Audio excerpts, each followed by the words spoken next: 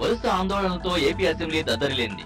రైతు ఆత్మహత్యలు input subsidy అవకతవకలపై స్పీకర్ పోడియాన్ని చుట్టుముట్టి ఆందోళనకు దిగింది. ఎంత చెప్పినా వినకపోవడంతో స్పీకర్ అసహనం వ్యక్తం చేశారు. ప్రతిపక్షంపై చర్య తీసుకోవాలని మంత్రులు విజ్ఞప్తి చేశారు. ఏపీ మీడియా పాయింట్ వద్ద మళ్ళీ నిన్నటి సీనే రిపీట్ అయింది. మీడియా పాయింట్ కాస్త వార్ అమరావతిలో ప్రత్యేక హైకోర్టు ఏర్పాటుకి కేంద్రం సుముఖత వ్యక్తం చేసింది. భవన నిర్మాణం పూర్తయ్యాక హైకోర్టు ఏర్పాటుకు సహకరిస్తామని మంత్రి రవిశంకర్ ప్రసాద్ తెలిపారు. విభజన హామీలు నెరవేర్చేందుకు కేంద్రం కట్టుబడి ఉందని పార్లమెంట్లో ప్రకటించారు.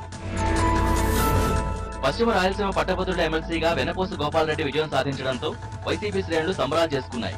పార్టీ అధ్యక్షుడు జగన్కు స్వీట్లు తినిపించి సంతోషం వ్యక్తం చేశారు ఎమ్మెల్యేలు.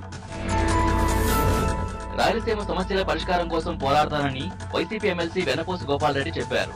అనంతపురం కడప కర్నూలు శాసనమండలి వైసీపీ అభ్యర్థిగా ఆయన విజయం సాధించారు.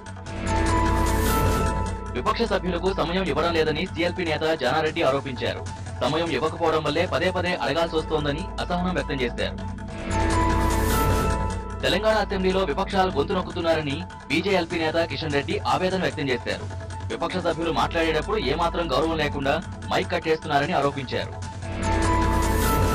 విపక్షాల గొంతు నొక్కుతున్నామని ఆరోపించడం సరైంది కాదని మంత్రి హరీష్ రావు అన్నారు. సభ్యుల సంఖ్య ఆధారంగా టైం కేటాయిస్తున్నామని చెప్పారు.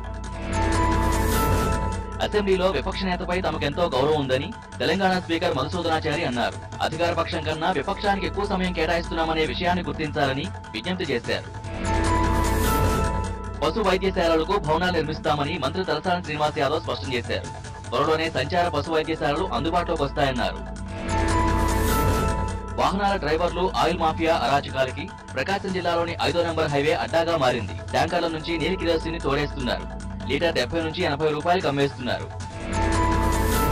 తిరుపతి శివార్లో పాతకాలంలో విషాదం చోటు చేసుకుంది. ప్రమాదవశాత్తు నీటి కుంటలో పడి ఓ తల్లి ఇద్దరు సంతానం జలసమాధి అయింది. బట్టలు ఉతికేందుకు వెళ్ళిన క్రమంలో ఈ ప్రమాదం జరిగింది. విశాఖ సముద్రంలో ఈతకు వెళ్ళి ఇద్దరు విద్యార్థులు మరణించారు. విశాఖ వ్యాలీకి చెందిన స్టూడెంట్స్ సేద తీరేందుకు వచ్చారు. కానీ విహారం కాస్త విషాదంగా మారడంతో వారి కుటుంబాలు తీవ్ర విషాదంలో కూరుకుపోయాయి. కర్నూలు జిల్లా ఎమిగనూరులో గుర్రాలు స్వైర విహారం చేశాయి జిల్లా ప్రజా పరిషత్ పాఠశాలలో ప్రవేశించి పదో తరగతి పరీక్షలు రాసేందుకు వచ్చిన విద్యార్థుల్ని గాయపరిచాయి. దీంతో గాయాల పాలైన వారిని ప్రభుత్వాసుపత్రికి తరలించారు. సిఐడి అధికారులకే షాక్ ఇచ్చిన బోధన్ సిటీ కుంభకోణంలో ప్రధాన సూత్రధారి శివరాజ్ని సిఐడి అధికారులు అరెస్ట్ చేశారు. న్యాయమూర్తి అనుమతితో పద్నాలుగు రోజుల రిమాండ్కు తీసుకున్నారు. సుప్రీంకోర్టులో బాబ్రీ మసీదు విధ్వంసం కేసు వాయిదా పడింది. న్యాయమూర్తి అందుబాటులో లేని కారణంగా రేపటికి కేసును వాయిదా వేశారు. బీజేపీ ఎంపీలకి పార్టీ విప్ జారీ చేసింది. సాయంత్రం ఆరు గంటల వరకు పార్లమెంట్లోనే ఉండాలని విప్లో పేర్కొంది. సభ్యుల గైర్హాజరీని తగ్గించేందుకే విప్పు జారీ చేశారు. జాతీయ జెండాను ఎవరు అవమానించినా కఠినంగా శిక్షించాల్సిందేనని కేంద్ర హోంశాఖ ఆదేశాలిచ్చింది. ఎవరైనా సరే నిబంధనలు ఖచ్చితంగా పాటించాల్సిందేనని అన్ని శాఖలకి ప్రత్యేక మార్గదర్శకాలు జారీ చేసింది. మహారాష్ట్ర అసెంబ్లీలో అసాధారణమైన సీన్. సభలో రభస చేసిన ప్రతిపక్ష సభ్యులపై స్పీకర్ కఠిన చర్య తీసుకున్నారు. బడ్జెట్ సమావేశాల సందర్భంగా నినాదాలతో హోరెత్తించిన పంతొమ్మిది మంది సభ్యుల్ని డిసెంబర్ ముప్పై ఒకటి వరకు సస్పెండ్ చేశారు. ఎట్టకేలకు అజ్మీర్ పేరుల కేసులో దోషులకు శిక్ష పడింది. దినేష్ గుప్తా భవేష్ పటేళ్ళకు జీవిత ఖైదు శిక్ష విధిస్తూ ఎన్ఐఏ ప్రత్యేక కోర్టు శిక్షలు ఖరారు చేసింది. మోడీ అమెరికా పర్యటనకు రంగం సిద్ధమవుతోంది. మే లేదా జూన్లో ఆయన అమెరికా వెళ్ళనున్నారు ట్రంప్తో మోడీ ప్రత్యేకంగా సమావేశం కానున్నారు. ఇద్దరి మధ్య ద్వైపాక్షిక చర్చలు జరగనున్నట్టు తెలుస్తోంది.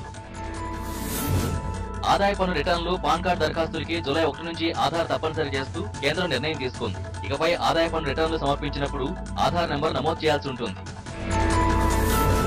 పన్ను ఎగవేతలకి చెక్ పెట్టేందుకే జూలై ఒకటి నుంచి జీఎస్టీని అమలు చేస్తున్నామని కేంద్ర ఆర్థిక శాఖ మంత్రి అరుణ్ జైట్లీ తెలిపారు. జీఎస్టీ అమలుతో పన్నుల చెల్లింపు సరళతరం అవుతుందని జైట్లీ అభిప్రాయపడ్డారు. ట్రంప్ విధానాల్ని సౌదీ కూడా అనుసరిస్తోంది. తమ దేశంలోని నిరుద్యోగాన్ని రెండు వేల ఇరవై కల్లా తొమ్మిది శాతానికి తగ్గించాలనే లక్ష్యంతో విదేశీ కార్మికులపై వేటు వేసేందుకు సిద్ధమవుతోంది. ఉగ్రవాదాన్ని పోకెట్ పెకలించి వేస్తామని ట్రంప్ హెచ్చరించారు. ఇరాక్ ప్రధాని హైదర్ అల్ అబాదీతో తొలిసారిగా సమావేశమైన ఆయన ఉగ్రవాద నిర్మూలనకి ప్రపంచ దేశాలు కలిసి రావాలని పిలుపునిచ్చారు.